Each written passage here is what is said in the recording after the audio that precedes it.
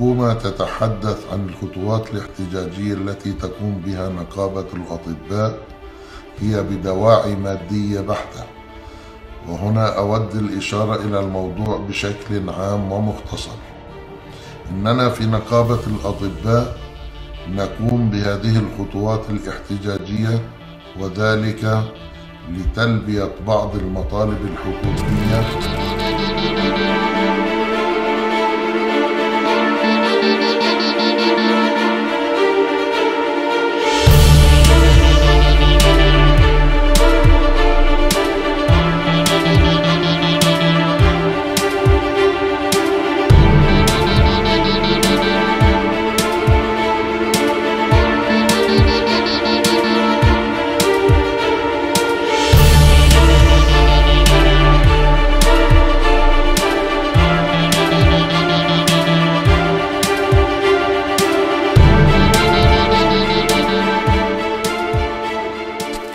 وفي كورونا المفروض الواحد ينسى كل شيء ويذهب إلى العمل.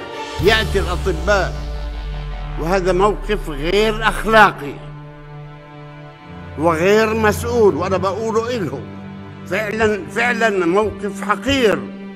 ولك أنت طبيب إنسان. أنت المفروض أن أن- أنك لو كنت في آخر الدنيا وكنت مشغول كل الشغل الآن وقت تشتغل. مش تضرب.